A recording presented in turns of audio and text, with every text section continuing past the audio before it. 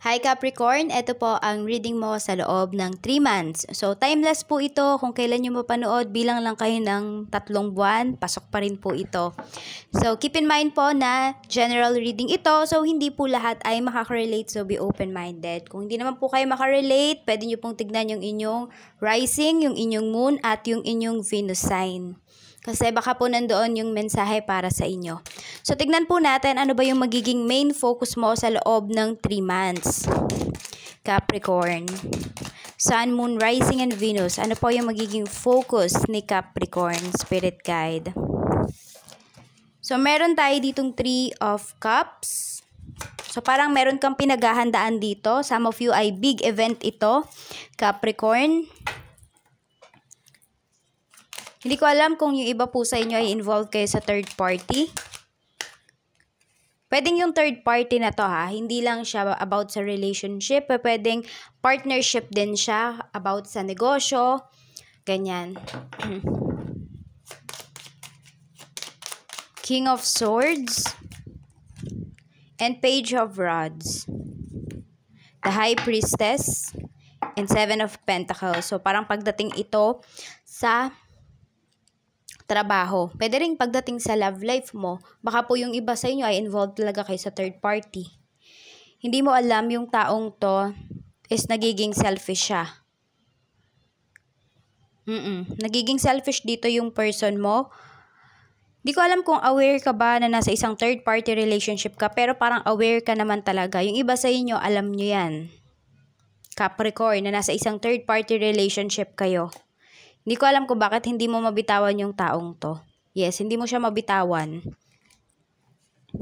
Seven of Pentacles. Siguro na-frustrate ka rin sa sarili mo. Bakit ka pumapayag na ikaw ay nasa isang third-party relationship?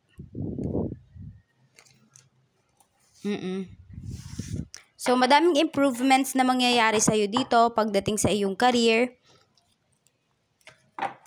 Tignan naman natin pagdating sa health mo. So, be wise. Be wise pagdating dito sa trabaho mo. Be wise din pagdating sa love life. Capricorn. Maaring yung iba po sa inyo ay magkaroon kayo ng bagong trabaho. Pwede na kung wala kayong trabaho ngayon sa loob ng susunod na tatlong buwan or sa loob ng tatlong buwan, ayan, um, siguro sa kalagitnaan, ayan, makakapaghanap po kayo ng trabaho or matatanggap kayo, mahired kayo. Tignan natin yung health mo sa loob ng 3 months. Spirit guide, kamusta po? Ang health ni Capricorn sa loob ng tatlong buwan. Meron tayo ditong 2 of cups. Okay naman po. Yung inyong health, inaalagaan nyo naman siya. So, minamahal nyo naman yung inyong katawan. So, yung iba nga sa inyo, more on mag-exercise kayo dito. Kaya mag sinasabi sa inyo, mag-exercise po kayo. So, may big transformation lang na mangyayari dito. So, yung iba sa inyo, kung payat kayo, baka po magpa, medyo magpataba kayo para magkalaman kayo. Kasi yung iba sa inyo, hindi rin po biro yung trabaho nyo. So, mabigat din yung ibang trabaho nyo. Kaya kailangan nyo talagang palakasin yung inyong katawan, yung inyong immune system. So, tignan po natin anong blessing yung paparating sa'yo sa loob ng tatlong buwan. Ano po yung blessing na paparating kay Capricorn Spirit Guide? Anong blessing yung paparating kay Capricorn sa loob ng tatlong buwan? Kuha tayo ng 3 cards. Spirit Guide, please. Ano pa po, Spirit Guide? One more card, please. Okay. Meron tayo ditong a blessing of fire. So, magiging very passionate ka. Yung iba po sa inyo, hindi ko alam kung cook ba kayo. Kasi fire, so about sa apoy, sa pagluluto, yung iba po sa inyo, pwede yung iba sa inyo, firefighter, pwede. Morrigan's Blessing of Peace and Battle. Number 46, number 3. So, battle after peace. Tama ba? Oo. Peace after battle pala. A blessing from your ancestor. So, you are being guided by your ancestors Maaring dinadalaw ka nila sa panaginip, Capricorn.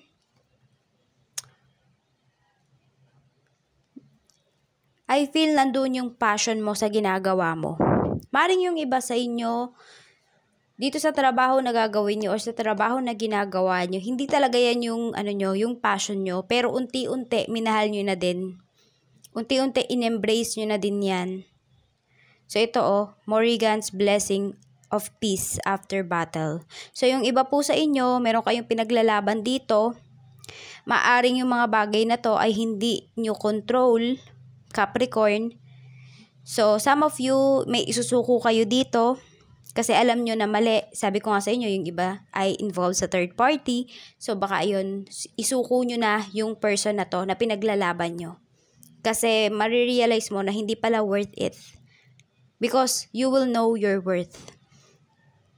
Dito sa darating na 3 months na to or sa loob ng 3 months na ito. Kaya pahalagahan nyo din yung nararamdaman nyo. And also, yung nararamdaman nung nasasaktan nyo Parang sinasabi dito is huwag kayong maging selfish, Capricorn. A blessing from your ancestors. Madaming blessings ang darating sa'yo. Maaring nasubok ka, ayan, kung na-involve ka man po sa third party, sinusubok ka ng iyong ancestor, sinusubok ka ni universe, tinitignan niya kung gaano ka ba katatag. Meron ka matututunan na lessons dito, and uh, yun yung dalhin mo, yung lessons na yon Mm. Tama, nakakagalit naman talaga yan. Siguro nga yung iba sa inyo, nagagalit kayo sa sarili nyo. Bakit pumayag kayo na nandito kayo sa isang sitwasyon na to? Maring yung iba sa inyo, hindi naman kayo yung third party. Pwede po na kayo is yung nilagay sa third party. Kayo yung legal, parang ganyan. So baka ito nga, uh, yung tipong magsasacrifice ka dito, ikaw na lang yung lalayo. Parang ganon yung iba sa inyo, bibitaw na kayo. Kasi sobra na kayong nasasaktan. Mm-mm. Tignan pa natin ano pa yung blessings, ano, no, no, no, ano pa yung message para sa'yo. Ano pa po yung message natin for Capricorn Spirit Guide. Meron tayo ditong psychic development. So, ito yung blessings na matatanggap mo from your ancestors. Five, number five, psychic developments. So, ang daming bagay na magiging maliwanag ba sa isipan mo? Mm-mm. Yung mga sagot mo, ay yung mga tanong mo na kinakailangan ng sagot, makukuha mo yan within this 3 months. Take time to breathe out. So marami sa inyo, sa loob ng 3 months na to ay sobrang, you know, sobrang stress kayo. Nakakasuffocate yung mga nangyayari, nakakasakal yung mga nangyayari sa inyo. So, maaaring ito, mapag-isip-isip nyo kung ano ba yung tamang gawin, ano ba yung dapat mong gawin, Capricorn. Tignan natin pagdating sa iyong career. Meron tayo ditong 8 of Rods, so may pag-move dito. Very exciting po yung magiging career nyo sa loob ng 3 months. Sabi ko nga sa inyo, yung iba, kung wala kayong trabaho, magkakaroon na kayo ng trabaho. Tignan pa natin. Meron tayo ditong 8 of cups. So may paglayo talaga dito pagdating sa iyong trabaho. Yung iba sa inyo malayo to sa bahay nyo. O kaya naman, ngayon, um, parang to, to bayan, parang ganun yung ano niya. Yung layo sa bahay nyo. Or 30 to 45 minutes. Basta lagi kayo nagta-travel, ganyan. Tapos meron tayo ditong 10 of pentacles. Yung iba po sa inyo could be, um, ano to eh, parang business ito sa ano ba, business ng isang pamilya, doon po kayo nagtatrabaho. Hmm, hindi pa naman siya sobrang, you know, sobrang unlad yung trabaho na to, pero siguro kung ilan yung tauhan na itong mapapasukan mo, mga lima, lima yata kayo na tauhan, ganyan, Capricorn. Yung iba naman po sa inyo, pagdating dito sa inyong trabaho, kung sa nag-office man po kayo or kung nasaan man po kayo, baka po yung iba sa inyo nasa ibang bansa or sa ibang bansa kayo nagtatrabaho, o kaya naman ito talaga yung tinatarget mo, Capricorn, ngayong taon, or kung kailan mo man ito mapanood, basta bilang ka ng 3 months, ayan. So, iba po sa inyo, yan yung tinatarget nyo and okay naman po talaga yung trabaho nyo. Fulfilled naman po kayo, lalo na sa kinikita nyo, masaya po kayo. Tignan natin. Pagdating sa iyong kaperahan, pagdating po sa kaperahan ni Capricorn, napakadami pong improvements na mangyayari. Hindi lang sa uh, sa finances mo, pati na din sa buong buhay mo. Kasi nakikita ko dito, matututo kang magdesisyon para sa sarili mo, Capricorn. Mm-mm. Unahin mo yung sarili mo. Hindi ko alam yung iba sa inyo. Kaya din siguro meron kasi dito pumasok sa third party. Kasi may nakukuha kayo dun sa third party. And yun yung tinutulong nyo sa family nyo. Hindi ba yung iba sa inyo nakakagawa kayo ng mga ganyang bagay kasi iniisip nyo yung family nyo. Which is uh, medyo nakakababayan ng dignidad. Kaya pag-isipan nyo talagang mabuti. Kasi madami pa, malayo pa yung mararating nyo Capricorn. Pero ito, nakasta kayo sa isang lugar, sa isang sitwasyon na yan yung nangyayari. So, tingnan natin. Meron tayo ditong death card pagdating sa iyong uh, finances. Meron tayong Ace of Cups. So, may offer sa iyo dito. Temperance. So, yung iba po sa inyo, unti-unti, uh, gagaling, gagaling, no? Mas mag improve po yung inyong finances sa loob ng 3 months. Kailangan nyo lang talagang kontrolin. Ayan, sabi ko nga sa inyo, unahin nyo yung sarili nyo. Tamang tumutulong po kayo pero huwag kayong tumulong na sobra-sobra. Kailangan yung isipin yung future nyo. Ngayon pa lang, isipin nyo na yung future nyo. Mm-mm. Walang masama sa pagtulong. Pero know your limits. Know your limits. Capricorn.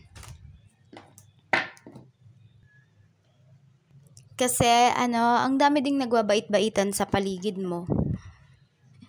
Oo. Kasi meron silang napapakinabangan sa'yo. Tignan naman natin pagdating sa love life. Para sa mga single, kamusta po yung magiging love life nyo? Sa loob ng 3 months, mayroon ba? May improvements ba? Para sa mga single na Capricorn, kamusta po? Kamusta ang love life ng mga single na Capricorn sa loob ng tatlong buwan? So, merong hammer. So, mukhang magkakaroon kayo ng karelasyon. Mukhang ano po ito, yung iba sa inyo, ex nyo, magbabago na daw siya, pero parang hindi naman. So, meron kayong puputulin na commitment dito and you will work on yourself. Sabi ko nga, unahin mo yung sarili mo. At unahin mo dapat talaga yung sarili mo. Tignan natin. Itong X. Ten of Rods. Okay, medyo kukulitin ka pa rin ng taong yan. Kung sino man tong puputulin mo sa life mo, sa loob ng tatlong buwan, magpaparamdam pa rin sa'yo yung taong yan. Magmamakaawa sa'yo yan. Pero sabi ko nga sa'yo, kung ikaw, kung yung taong yan ay mayroon talagang legal na karelasyon or, you know, kailangan maging matalino ka. Huwag mo sirain yung buhay mo para sa isang taong ganyan. Meron tayo ditong Six of Rods para dito sa binubuo mo. Yung iba sa inyo, ang makakarelasyon mo mukhang nasa malayong lugar din. Kaya din siguro mayroong pag-usad ka dito pagdating sa iyong uh, pagdating sa iyong career. Mm-mm. Ito, Capricorn, kung sino man itong makakarelasyon mo, bagong tao to ha, maaring ito ay may malaki yung possibility na maging asawa mo to. Mm-mm. Tignan naman natin para sa mga may, para sa mga in a relationship. Para po sa mga in a relationship na Capricorn, sa loob po ng 3 months spirit guide, tignan natin Tignan po natin, spirit guide. So, yung iba sa inyo, magiging single sa loob ng 3 months na yan. Kasi nga meron kayong ikakat na connection. Tignan po natin. So, mas magiging confident ka sa sarili mo. Yung iba sa inyo, tataas po yung inyong self-esteem. Kasi ito yung a blessing of fire. Abundance. And cassette. Wow, mas lalago pa yung inyong samahan itong person mo, mas uh, tatatag pa siya, mas magiging stable. Tignan natin. Kaya lang meron dito ay meron ka ditong hindi mabitawan kasi lagi lang tong nasa isipan mo. Yung iba sa inyo, may pwede na maghihinala kayo sa person nyo sa loob ng 3 months na ito. Puro kayo hinala. Knight of Pentacles. So, may stability talaga dito. Knight of Swords. Ayan. So, maaaring i-confront mo yung person mo. Dito, maaaring meron kang malaman, uh, Capricorn, dito sa person mo at i-confront mo siya. Uh-uh. King of Cups, so kung tinatanong mo, mahal ka ba nitong person mo? Mahal ka nito, mas mag improve pa nga yung relationship nyo, the Empress. Mukhang mauwi to sa kasalan. Mukhang pag kinonfront mo siya, ang ibabato niya sa'yo ay sing-sing. ibabato talaga, no? Ang i-offer niya sa'yo ay sing-sing. Mukhang nag-iipon tong person mo. Yun yung nakikita ko dito, nag-iipon siya. Maaring itong paulit-ulit na tumatakbo sa isipan niya or sa isipan mo ay yung nangyari sa parents niya. Parang sinasabi niya dito na ayaw niya ding mangyari yon sa inyo. Maaring yung person mo kasi ay galing sa isang broken family Capricorn. Or maybe ikaw to. So, ikaw tong nag-iisip na ayaw mong mangyari yon sa'yo. Ayaw mong mangyari. Ayaw mong maging ganun din yung relationship mo. Tingnan natin pagdating naman po sa mga married. Pagdating po sa mga married na Capricorn, Spirit Guide, kamusta po? Sa loob ng tatlong buwan, meron tayo ditong engagement ring. So, tignan natin. Mukhang, yung iba sa inyo, kung meron kayong anak, mukhang ma-engage yan. O kaya naman may engagement party kayo na pupuntahan. Mm-mm. Tignan natin. The Moon. Ano pa po? Spirit Guide. Page of Cups. Okay, yung iba sa inyo, parang sinasabi na to sa inyo ng anak niyo, pero hindi kayo naniniwala na mag-aasawa na ako, ma, mag-aasawa na ako, dad. pero hindi kayo naniniwala. So, parang feeling mo, niloloko ka lang ng anak mo. Ayan, so, ito naman po, the Hermit, King of Rods, and Six of Swords, pagdating sa inyong relationship. So, wala naman ako nakikita dito na may iba yung person mo or what. Kasi ito, engage. Siguro, uh, kung yung person mo ay nagtrabaho sa ibang bansa, ngayon, ito sa loob ng 3 months na to, Capricorn, is yung asawa mo, mas, mas magiging close ba siya sa inyo? Mas, ano, nakafocus siya ngayon sa inyo. Mas magpo-focus siya dito sa family nyo, yung mga hindi nyo nagagawa before, yung mga conversations na hindi nyo napapag-usapan, mapapag-usapan nyo ngayon. So, kung meron man kayo mga away dito, maayos nyo din yan. Oo.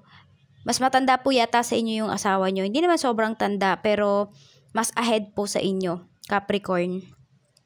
Mm-mm. Mas mature din siyang mag-isip. So, ayan, engagement, partnership, commitment, eternity, completion, union. Mm-mm, completion. So, parang ito din yun eh. Completion.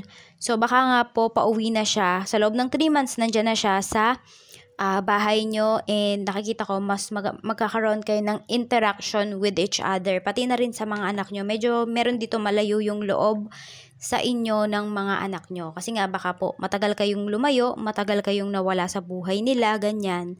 So, yan lang po yung mensahe sa'yo. And also, wag mo pong kalimutan itong mga ito kasi merong psychic development. So, unti-unti po ma-awaken yung inyong chakras, yung inyong pineal gland. So, mas maganda po ay mag-meditate po kayo para hindi kayo ma-overwhelmed sa mga mararamdaman nyo at sa mga makikita nyo sa loob ng 3 months. Pag-aralan nyo din yung mga kakaiba nyong nararamdaman. Maraming maraming salamat po and see you again on my next video Capricorn. Enjoy the rest of your months and more blessings to come. Bye-bye!